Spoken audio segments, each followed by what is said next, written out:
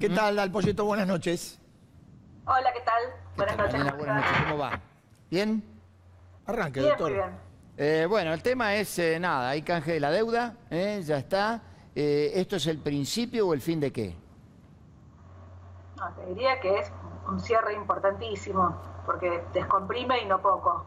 Todavía te falta, digamos, ver cuántas son las ofertas que, que finalmente entran, sumar y ver si, si definitivamente se alcanzan las mayorías en los dos indentros, en los dos tipos de contratos de deuda que tiene la Argentina, el de los bonos globales y el de los bonos este, que se emitieron en 2005 y 2010 para salir del default de 2001 pero luce que hay una masa crítica importante como para si eventualmente quedan holdouts, eh, bueno, te, te permite ¿no? Digo, pas- pasar el, eh, ¿no? el, el primer escollo, digamos, que quedaba, este, que quedaba pendiente, ahora te falta el resto, te falta el fondo y te falta fundamentalmente una señal de consolidación fiscal en la pospandemia, que fue la señal de consolidación fiscal con la cual paradójicamente arrancó este gobierno en diciembre del año pasado. Acuérdense que en diciembre del año pasado se pasó un proyecto de ley que se llamó Solidaridad Social y Reconversión Productiva, pero que de alguna forma tenía detrás un, un ajuste fiscal significativo que incluía tres cosas. Incluía eh, el freno en la indexación previsional, incluía la marcha atrás de la reforma tributaria e incluía eh, este, el, cambio en las, en las retenciones, la suba Sí. en las retenciones, y eso de alguna forma eh, evitaba que el déficit fiscal, que en 2019 terminó en medio punto del PIB, pero que si no hubieras hecho nada iba a la zona de tres puntos del PIB, eh, una señal fortísima de consolidación fiscal. Después vino la pandemia, se desplomaron los recursos, se dispara el gasto compensatorio y tuviste tres meses, abril, mayo, eh, junio, donde el gasto sube en promedio cerca del 80 y los recursos suben abajo del 20. Ahora, te, Marina, en, en este sentido, bueno, el gasto sube mucho, la recaudación eh, cae o no, no sube lo suficiente, en el medio lo que hay es emisión eh, y mucha emisión, eh, pero pareciera que esa, esa emisión eh, en algún momento va a tener que cortarse si es que se quiere ir al Fondo Monetario Internacional, que siempre en lo que hace a los reclamos y le pide a todos los gobiernos es que trate de achicar el déficit y que trate de abrir la economía. ¿Cómo, ¿Cómo se presentará eso en un gobierno que dice que no quiere tener un plan?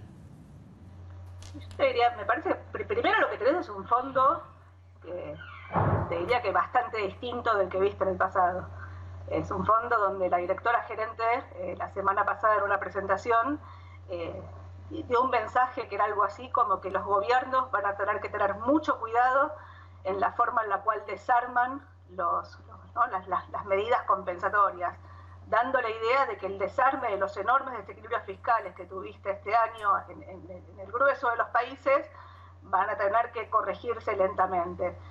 El punto ahí es que en el caso de la Argentina, más allá del acuerdo con el fondo, el problema es que sin fuentes de financiamiento, todo el financiamiento es con maquinita. Y entonces vos lo que estás haciendo es inyectando pesos sistemáticamente en la economía. Eh, esos pesos este, se empiezan a inyectar en una economía que en las elecciones del año pasado estaba, digamos, este, muy seca de pesos, era como una pileta vacía.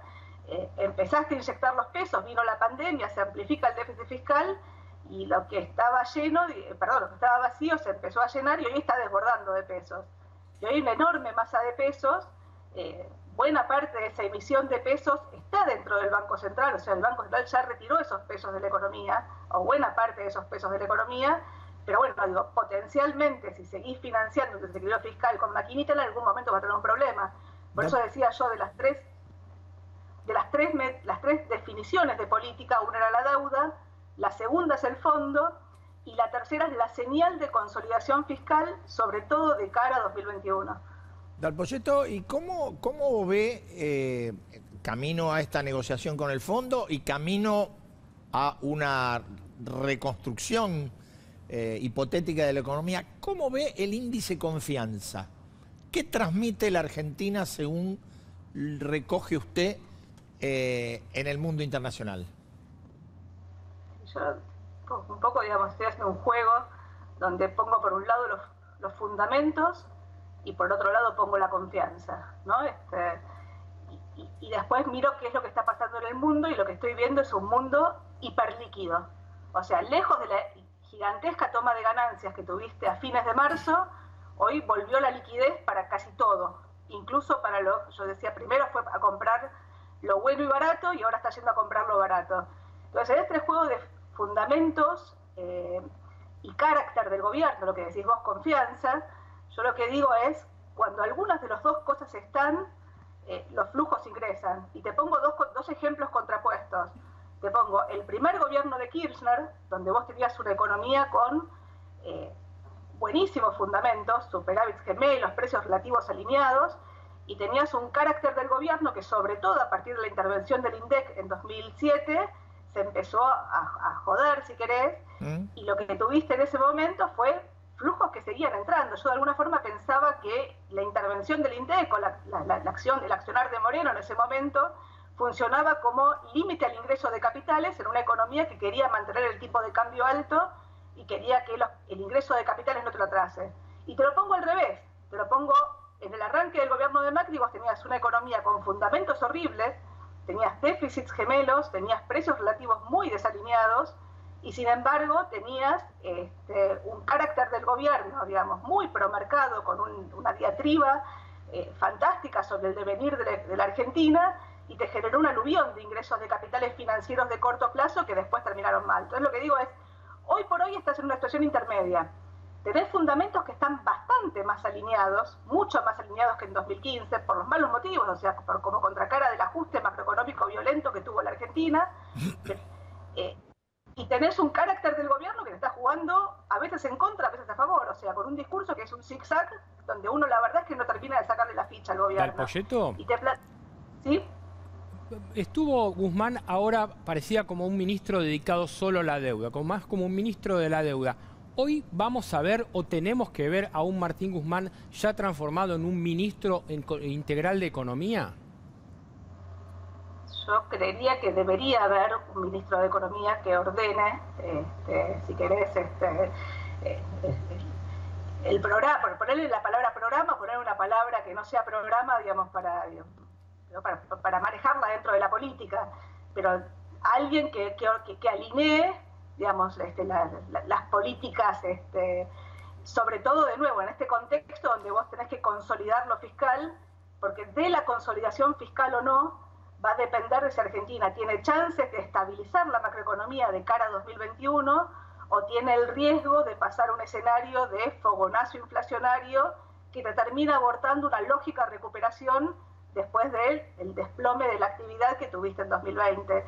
Y te agrego tres cosas. Te digo, eh, eh, lo primero es, tenés una oportunidad, te diría, bastante única, porque tenés, por un lado, una puja distributiva que se contuvo. Digamos, la semana esta tuviste la, novedad de que la paritaria de camioneros está en la zona de 30, la paritaria bancaria en la zona de 26. Si me hubieras planteado esos números en diciembre del año pasado, yo te hubiera dicho está imposible.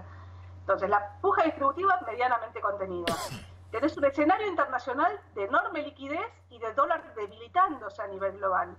Tenés precios relativos mucho más alineados. Es cierto que tenés una brecha cambiaria muy alta, pero como contracara de la enorme incertidumbre que genera el esquema de política económica, si querés, pero el nivel de la brecha cambiaria hoy, el nivel del contado con liquidación hoy, es similar al overshooting del tipo de cambio de 2002.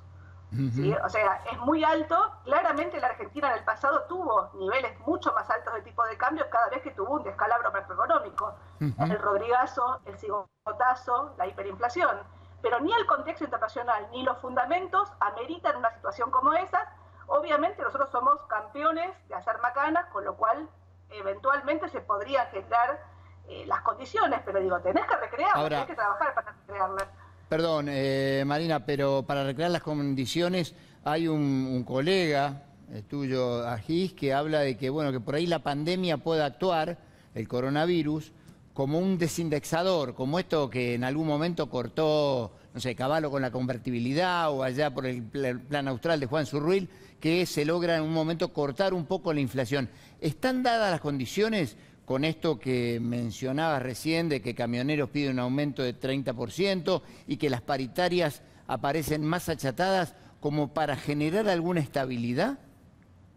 Está dada da la oportunidad, pero requerís una consolidación fiscal. Si tu agujero fiscal de cara al próximo año se mantiene en la zona de 6 puntos del PIB o arriba en la zona de 7 u 8 como este año, eh, te diría que es muy poco probable que eso ocurra y el riesgo de fogonazo inflacionario aparece. Si el agujero fiscal el año que viene está en la zona de 2 puntos del PIB, la matemática monetaria te permitiría un, escenario de desinflación de la economía como el que estás planteando, pero la nominalidad va a estar definida en gran medida por el agujero fiscal y la financiación de ese agujero fiscal con emisión monetaria. Eh, entonces, digo, el, el, escenario, la bisagra entre un escenario de estabilización y un escenario de disparada en la inflación, donde abortes estas, estas condiciones, te diría que únicas, que te está dando, digamos, el mundo, los precios relativos más alineados y esta oportunidad, si querés, de la política para manejar la puja distributiva, bueno, digo, va a depender de que el gobierno en un año electoral esté dispuesto a hacer que el gasto crezca de la recaudación, pero para pasar de 8 puntos a 2, necesitas algo así como que el gasto crezca cerca de entre 30 y 40 puntos por debajo de los ingresos, lo cual requiere, no tenés margen para hacer obra pública, requiere mucha prudencia en el manejo de, los aumentos previsionales y de la paritaria pública, requiere que haya aumentos tarifarios, aún en un año electoral, y requiere que el grueso del gasto este, que saltó en la pandemia, sobre todo los ATPs y los IFES, eh, bueno, desaparezcan.